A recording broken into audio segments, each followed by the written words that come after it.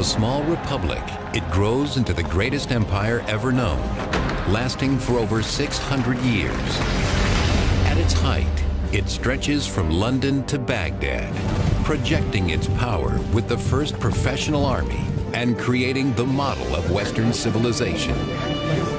And yet, when the empire begins to falter, it collapses with shocking speed. It takes only a hundred years for the imperial edifice of Rome to vanish like smoke, swept away by the barbarian invasions.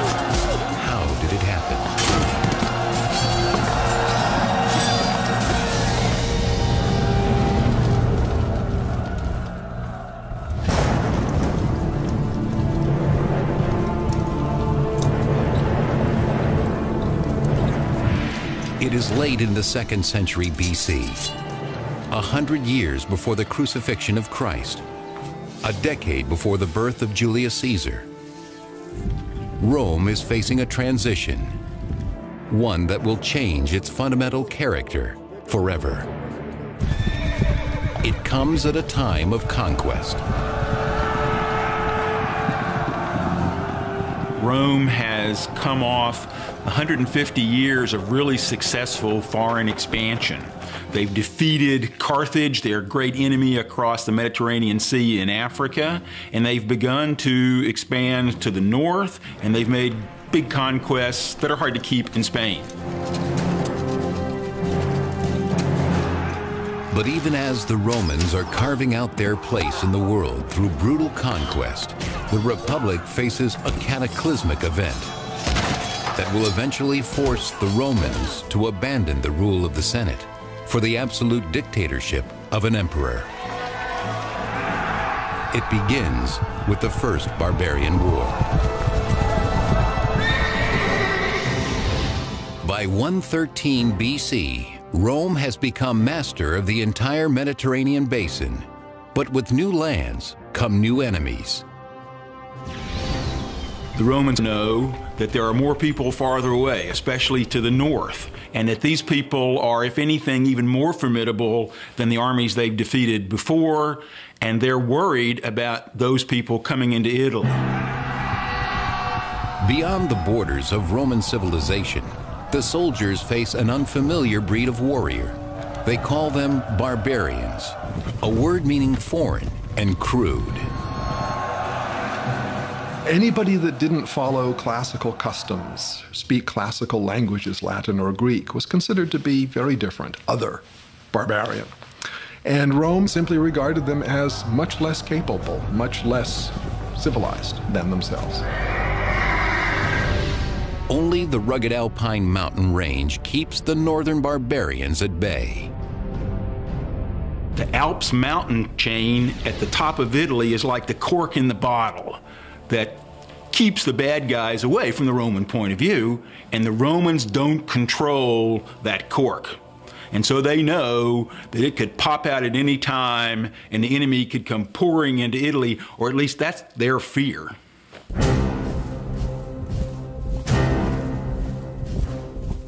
Against this growing barbarian menace stands the Roman army, a volunteer militia which prides itself on being well ordered, well trained, and well armed.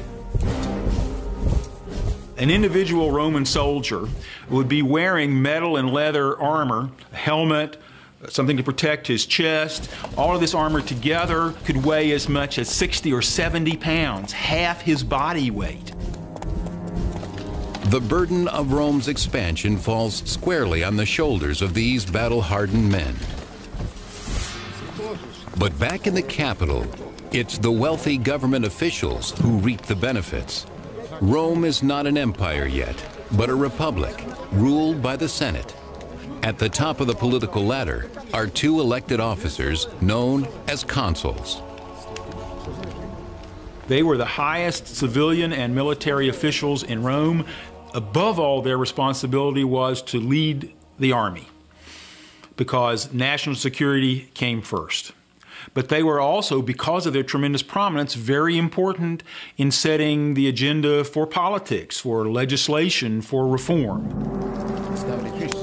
Though the Roman Republic embraces democratic ideals, all men are not created equal. Soldiers may win the battles for Rome, but they dare not hope to achieve the position of consul. The highest office is reserved for members of Rome's most important families, like Gnaeus, Papirius, Carbo. A very small number of families dominated the elections to become consul. This is part of the belief that Rome really needed the kind of honor that came from a long, distinguished uh, family history. Now, as Rome expands, this honor is no longer based on merit, but on money. What's happening in Rome is as Rome conquers more territory, more wealth is going to flow into the city. And there's a sense that wealth is going to demoralize the citizen body and the aristocracy both. That as wealth becomes more and more uh, uh, powerful in Roman society, more and more enticing, that this is going to infiltrate its way into the political process. By spreading around his wealth, Carbo can buy his place as consul. In terms of campaigning, uh, one of the things that you'll find as you go on later in the Republic is the system becomes extremely corrupt. You have people bestowing all sorts of largesse, any sort of little kind of gifts or remuneration uh, in order to get your, your vote. But in the north, a dangerous new tribe, the Cimbri, is on the move. From their home in northern Europe, they journey south toward Roman territory. Completely uncivilized, the Cimbri radiate terror, according to the famous ancient biographer Plutarch. They were believed to be German tribes based on their great size, the light blue color of their eyes, and the fact that their name, Cimbri, is the German nickname for plunderers. Led by the great warlord Boiorix, the horde leaves a smoking trail of destruction in its wake. They were characteristic Iron Age peoples. We don't really know exactly what it is they were after. They may have been moving in order to attack and invade uh, provinces that were becoming wealthy through trade with Rome. They may have simply been coming to seek their fortunes in what they perceived as a richer land near the Mediterranean. The Cimbri aren't the only ones lured by Rome's growing wealth. On the way south, two more barbarian tribes join them, the Teutones and Ambrones. The combined barbarian armies are heading straight for an alpine pass into Roman territory, guarded by the simple villagers of Noricum.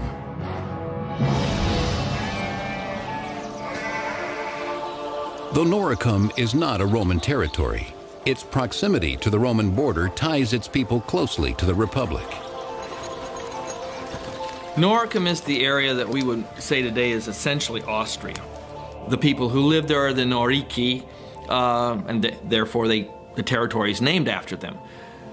The people there, the Norici, controlled the Alpine passes. Romans also rely on the Noricans for trade, as their skills working in precious metals and iron are well known.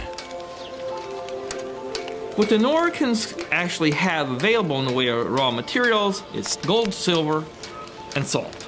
Mineable salt in the Alps is, is a major industry. So the Romans truly needed large quantities of salt for preservative, and they had to have that. And they had to have it all the time.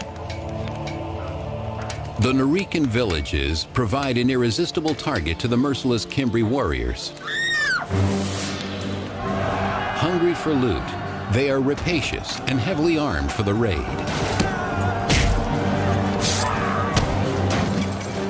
By the period we're talking about, the second and first centuries BC, the Cimbri had very effective swords, spears, um, shields, helmets are rarer, but they were fully equipped with very able kinds of weapons.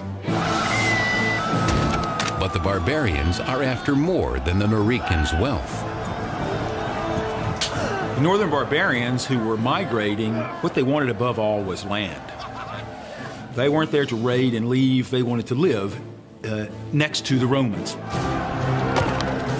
The craftsmen of Noricum stand no chance against the warriors of the north.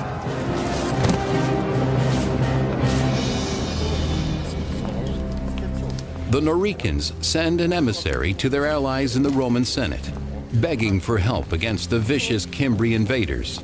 They seek out the aristocrat Carbo, whose politicking has finally paid off. He now holds the post of consul, the most prestigious office in Rome. Carbo orders his aide to begin preparations for war. He has just one year to win the glory and riches that come from battle. We're talking about needing to show the qualities of leadership through a display of manliness. And a display of manliness meant success on the battlefield. Generals not only feathered the nest of themselves and their families, but of all their supporters. Carbo takes the challenge, leading his troops to Noricum. Despite an utter lack of experience in the ways of war, he is eager to prove that he is more than just a wealthy senator. He arrives in Noricum, backed by the men of the Roman army. After a century of victories, they exude confidence. The Cimbri claimed they didn't know that they were in territory that they shouldn't have been in. They sent ambassadors. The barbarians have never seen such a well-equipped and disciplined force. The warlord Boiorix tells Carbo his people only wish to return home peacefully. Carbo agrees to let them go. But there is little glory in a truce. The Roman general devises a plan to force the victory he so badly needs. Carbo pretended that he was going to negotiate, and then he sent his troops on a shortcut to attack the Cimbri before the ambassadors could get back, thinking that his sneak attack would work. Carbo's plan backfires. The Roman commander Carbo outfoxed this group called the Cimbri, but he did it in a way that smelled of disgrace. A few of the Cimbrian ambassadors survived to carry a tale of treachery back to the barbarian camp. Furious, the barbarians swear they will never leave until they exact bloody revenge. Classical biographer Plutarch. Their courage and daring were irresistible. They rushed into battle with the speed of a raging fire. Nothing could stand up to them. Led by two warlords, Boiorix of the Cimbri and Teutobod of the Teutones, the barbarians advance in inexhaustible waves. The archaeology tells us that they had very good weapons, not inferior to Romans. It tells us that they had really real military organization with infantry troops, with officer corps. So we can, we can tell quite a bit. Certainly we can tell much more than the Romans seemed to understand until it was too late. Consul Carbo suddenly finds himself far from the comfort and privilege of Roman politics. Here, the language of power is spoken in steel and blood. As consul, chief war magistrate, he fails miserably. Because the chief war magistrate is only out there for a year, it's very frequently amateur hour out there on the field of battle. Uh, so you end up with uh, very frequently inept leadership uh, in a very important position, and on occasion results in disaster for the Romans. The battle for Noricum is such a disaster. The Romans were in the end saved from being pushed over the cliff into the hell of utter destruction only by a giant storm, lightning, thunder, and rain. Knocked from his horse, Carbo struggles to flee from the deadly chaos. He escapes the battle only to commit suicide, for he has disgraced himself and Rome in the eyes of the gods. God saved the Romans, but only just and only after many, many had been killed. What did that mean? It meant the gods were unhappy at the way the Romans behaved. And yet the Romans cling to the notion that only the aristocrats can lead them to victory. The Romans believed that old meant good, new meant dangerous. So they, for their politicians and their leaders, they preferred people with a long, distinguished family history. Over the next decade, a string of nobles, all armed with more arrogance than skill, lead armies north to protect Rome's province in Gaul. They meet the barbarians at Tolosa, Burdigala, and finally Arausio, present-day Toulouse, Bordeaux, and Orange, France. In each instance, the barbarians completely rout Rome's heralded legions. The Romans had their particular formal ways of fighting. If we think of the beginning of the film Gladiator, that's a perfect representation of how Rome liked to fight. Take hours to set up everything in the battle order and then launch the attack. In contrast, the barbarians' counterattack is unpredictable and devastating to the Roman lines. You have these lines of men, and if the person next to you goes down, the person behind will step into that gap. Uh, and, and death would be much, much more intimate.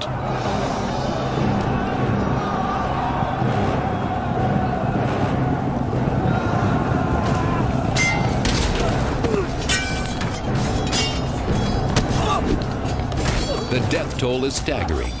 At Arausio alone, 80,000 Romans are massacred in a single afternoon.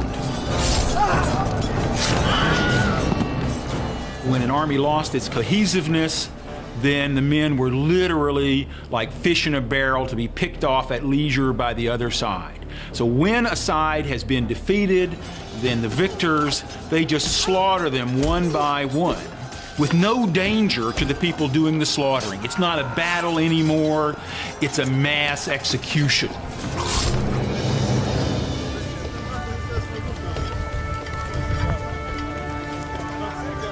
By 105 BC, the Cimbri and their allies desire much more than Roman blood and booty.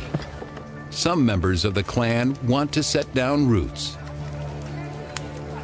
They were farming peoples, they uh, engaged in trade, um, they lived in small villages. People were growing wheat and barley, rye, oats, millet, a whole variety of different kinds of cereals. They were raising lentils and peas and beans and other kinds of garden crops. Cattle were extremely important. Pigs, sheep, and goat were all being raised.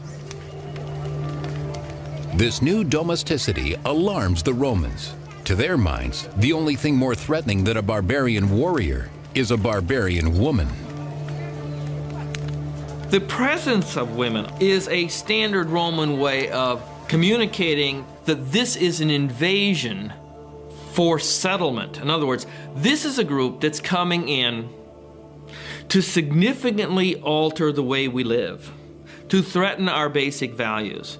If it's just a raid, it's just a bunch of teenage guys, we can deal with that. But see, when we throw women into the description, we have the migratory feature, and there it's a permanency, it requires a sterner and long term solution. It requires a general who can beat the barbarians back once and for all.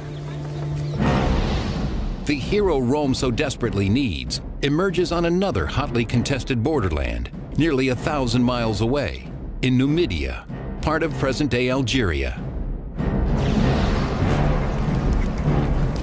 For eight long years, the Romans have tasted only defeat here, until now. The name of their savior is Marius. With guts and cunning, he crushes the Numidian armies of the rogue king Jugurtha.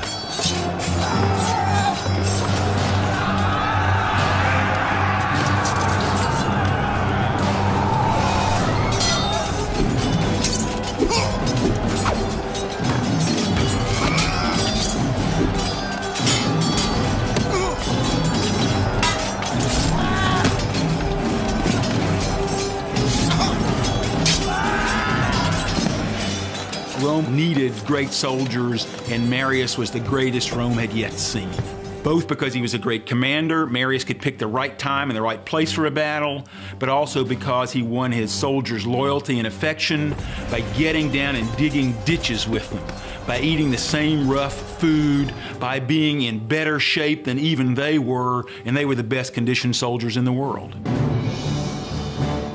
He comes by his common touch naturally, for Marius is no aristocrat. Still, he speaks of his humble background with pride. I cannot point to my ancestors, but I can show medals and other military honors, to say nothing of the scars on my body, all of them in front. These are my title of nobility. Now, as the northern barbarians close in, the Romans turn to Marius, their last and best hope. He's a proven military commander, and you don't want to fool around when you have uh, Teutones and Cimbri who have defeated army after army. You really want to take care of the problem urgently, and so you want to send a capable leader out on the field. But even the great Marius cannot lead without men to follow him. Devastated by a decade of war, Rome faces critical troop shortages. If you have uh, as many men lost to the German tribes in uh, 1, 113 and 109 and 107 uh, and 106 and 105, as the Romans did, that's going to traumatize Roman society pretty severely. Despite a vigorous recruitment campaign, Marius cannot find enough qualified men, landholders who are willing to serve. To be in the Roman army in the High Republic, you had to have a property qualification. You had to be a person of means, uh, and uh, and this causes some problems for the Roman army because there's a problem with manpower. Marius's solution is as simple as it is radical. He sends his recruiters out to seek soldiers among the landless poor. You don't have to be a property holder to be a Roman citizen, so why should you have to be a property owner to be a legionnaire? Many people wish to be soldiers. It's a good job, uh, and it's probably an exciting job. opportunities for booty, wine, women, and song, chance to see the world at government expense, etc. Uh, the same things that we see on our recruitment posters. Marius said anybody can be in the army. This then gave the Romans a much greater pool of men on which to draw to strengthen their legions. Because in Roman society, there were many, many, many more poor than there were middle class.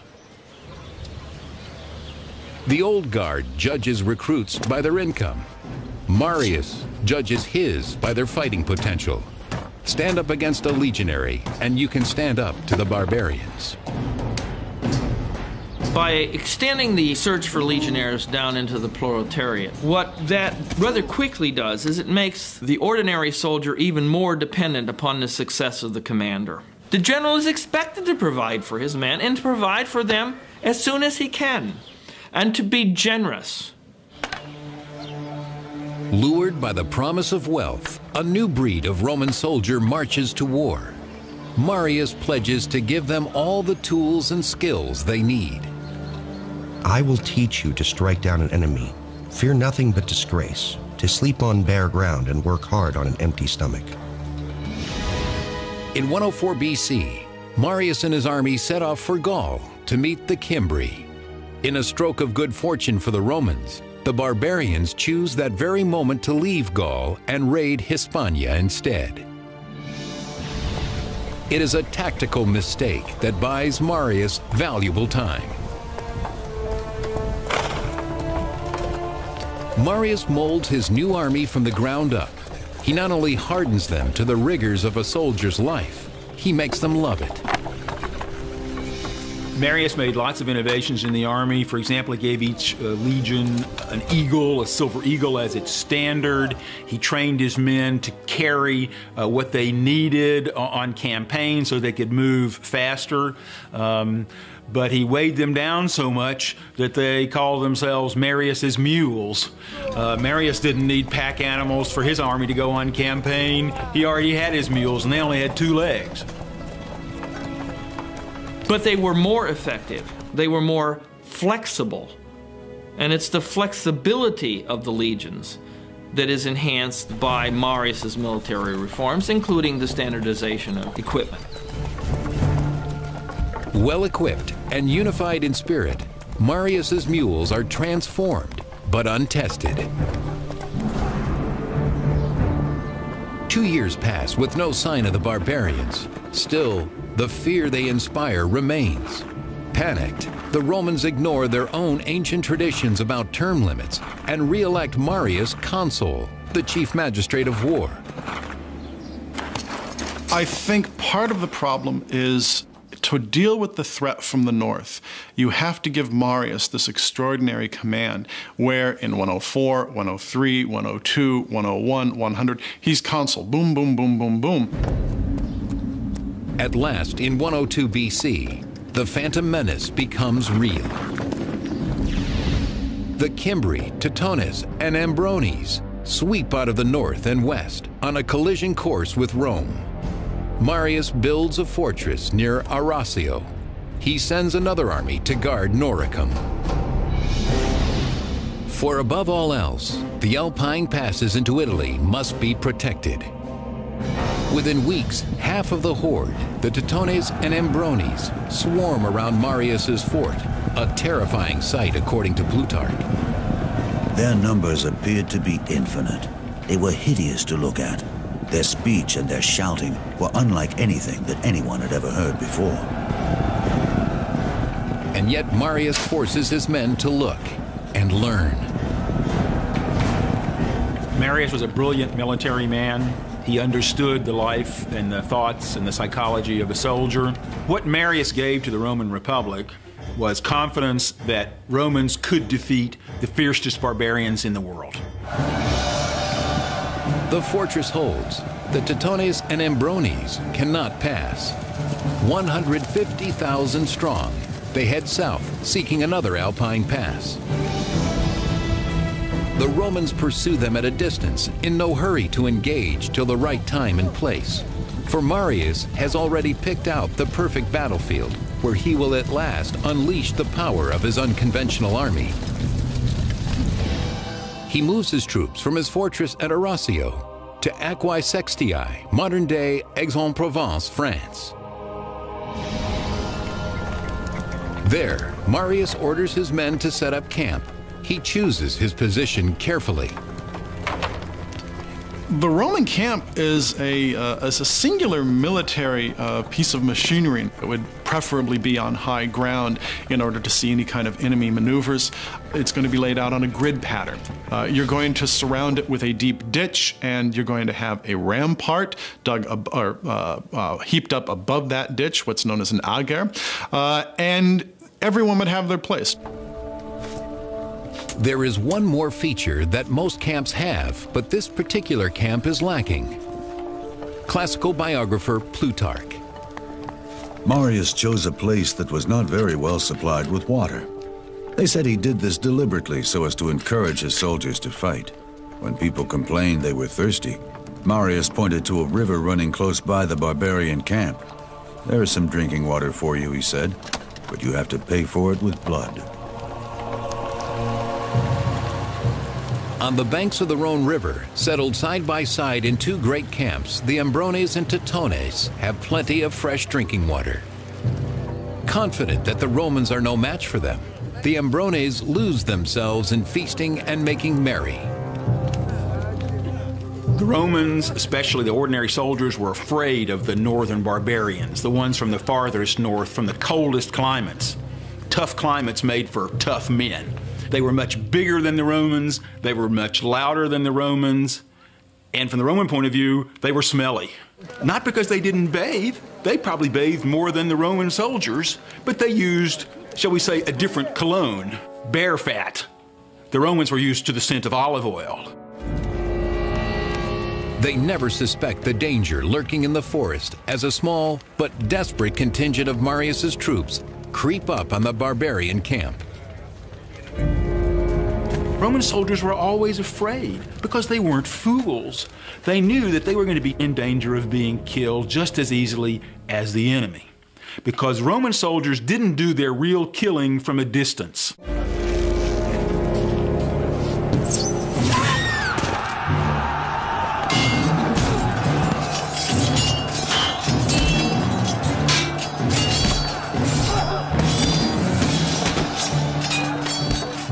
Mules throw themselves into the skirmish, but the barbarians swiftly rally in overwhelming numbers. Just as defeat closes in on the Romans, Marius orders reinforcements into the fray. Re-energized, the Romans push the Ambrones back to their camp. There, the battle takes a strange turn, as Plutarch reports. The women came out armed with swords and axes and making the most horrible shrieking. They threw themselves into the thick of the fighting, and though their bodies were gashed and wounded, they endured it to the end with unbroken spirits. The barbarian women always came to the battlefield. Sometimes the women would pull the wagons up right behind the men so that they couldn't retreat from battle. They'd block them in.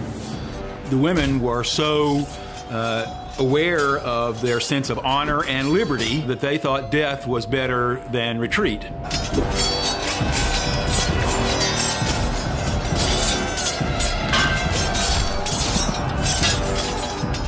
The Romans thought that uh, these women were unbelievably brave, unbelievably courageous. They thought these barbarians were the ultimate risk takers. By bringing their family to the battlefield, they're putting everything on that one roll of the dice. We win or we die, and that means all of us men, women, children, babies.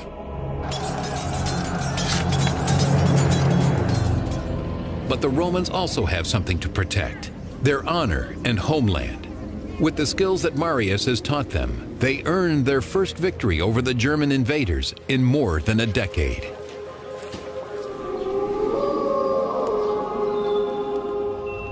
Back at camp, Marius prepares for the revenge attack that will certainly be launched by Teutobod, king of the Teutones. In uh, Aquae Sextiae, he faced a really difficult tactical situation. As usual, the enemy far outnumbered the Romans.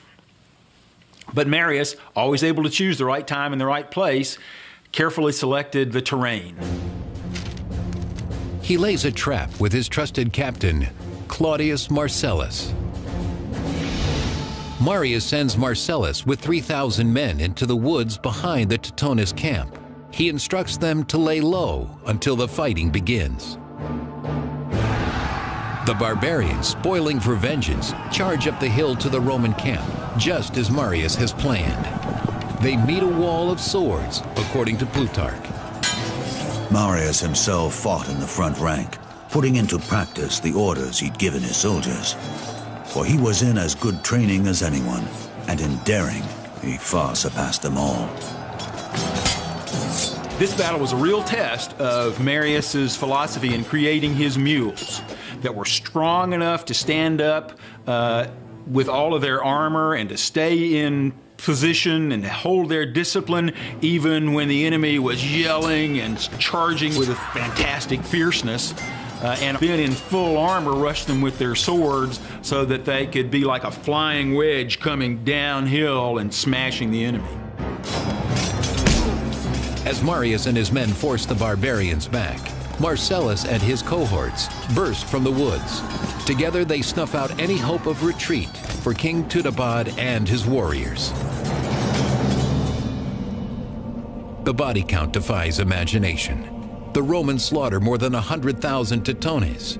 The rest they take as slaves, spoils of war that will make Marius's mules and all of his supporters rich. His patronage is not just to the soldiers.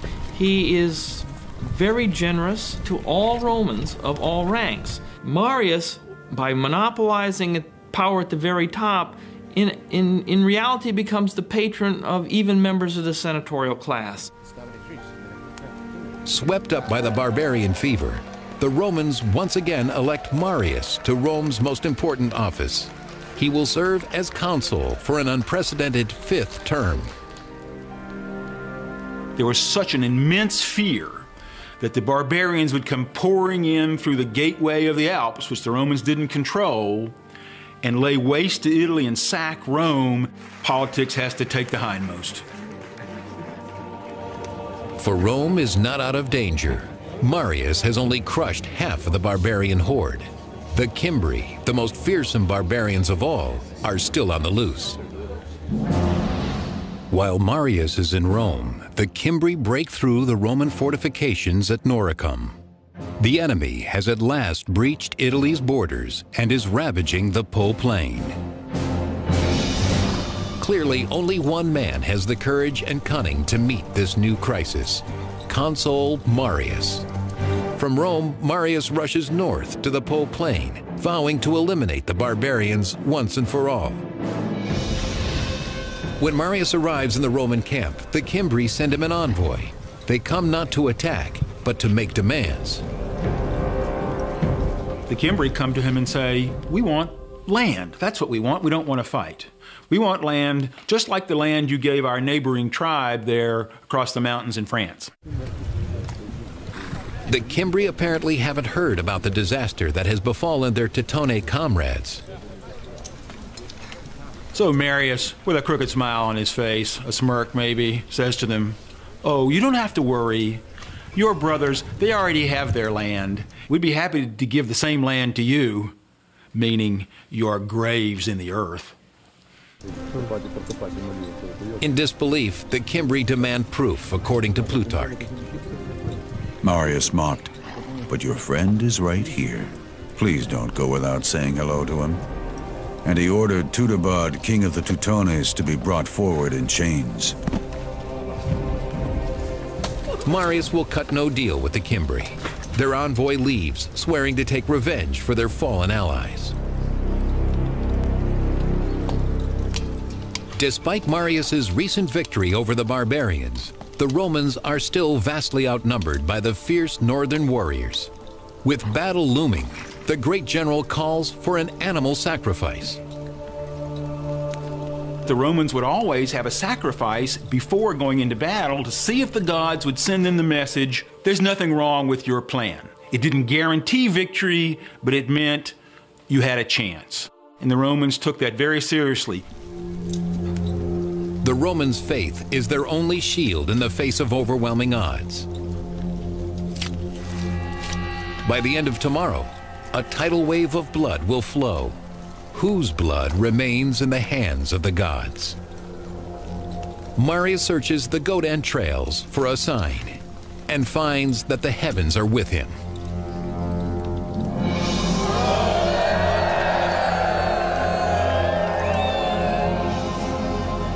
In 101 BC, all Rome holds its breath as two mortal enemies meet outside the hamlet of Vercelli, Italy. 15,000 strong, the Cimbri cavalry rides onto the field of battle. Right behind them come the fearsome infantry, like a cloud of locusts on the move.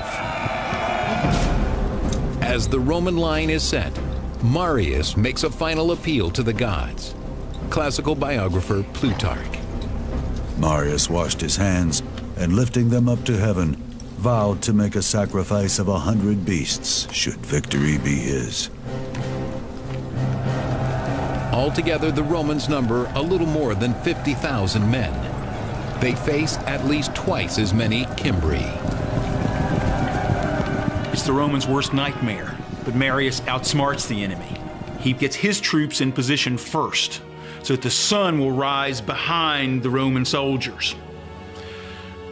When the sun gets to its full power, it reflects off the Romans' shiny armor, and the barbarians think that the sky is on fire, like the gods have sent lightning bolts to help their enemies. Sensing the Cimbri's sudden anxiety, the Romans attack.